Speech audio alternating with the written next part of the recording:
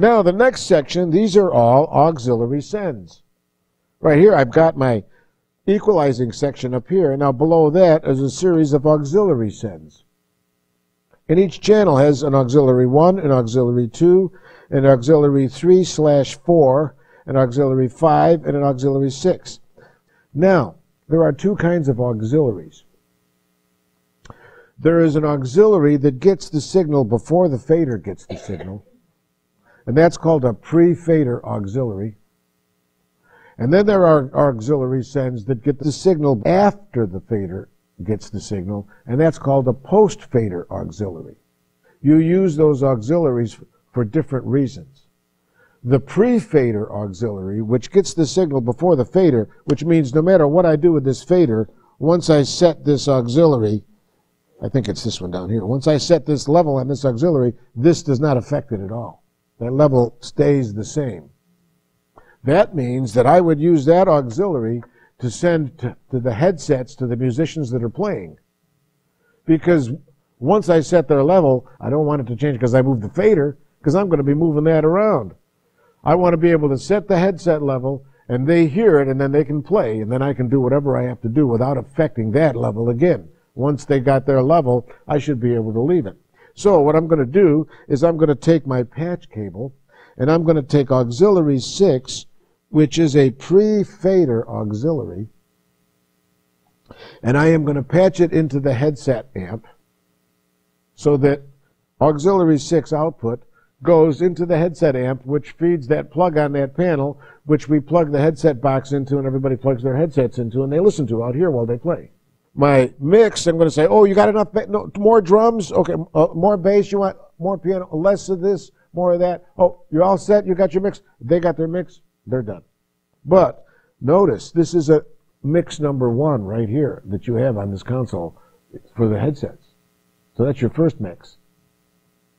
Because you got to send a blend out, and over here is auxiliary 6 master send right there.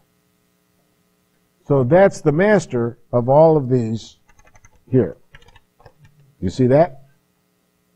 So I have another whole mix here, and that's the master.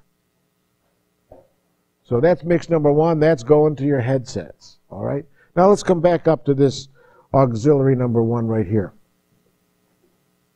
Auxiliary number one is a post-fader auxiliary. This gets the signal after the fader, unlike that auxiliary number six. Now, what I would do with that is I would send a post-fader auxiliary to a reverb unit. I would take and put it in a reverb unit because I might may have the piano might want to go into the reverb unit and maybe uh, the the woodwinds might want to get a little reverb on them and maybe the brass might want just a crack of reverb so I could send a blend, a mix, to the reverb unit. Not so much that I would like that it would start to sound too jumbly because you know it is reverberation and it tends to sound reverberated. right? So, you know, you, you're listening to the output of that and you're sending your signals to that. And then I would have a master over here on auxiliary one that would be the master of all that that's going to the reverb unit, correct? Well, then that's another mix that you have going. So that's another mix, another blend. Okay. Now, this button right down here under auxiliary 1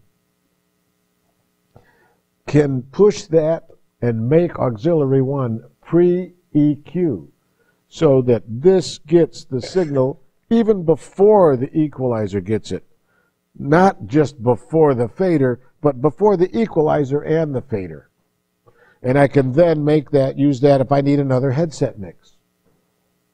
Maybe I want to send a second headset mix out so that the singer needs one headset mix and the drummer needs a different headset mix.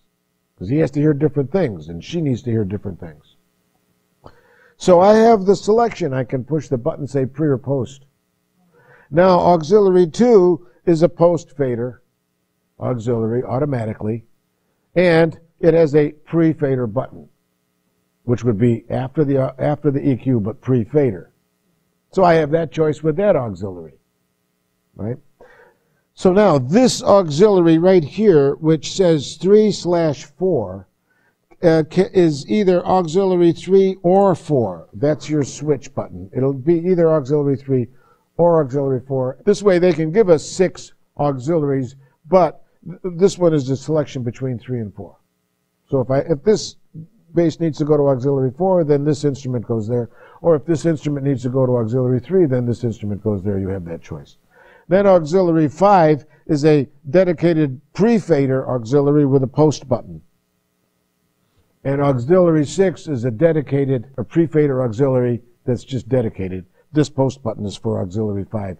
Auxiliary 6 is dedicated uh, pre-fader. So you use that one first for your headsets, you know. Then you have choices with the other ones.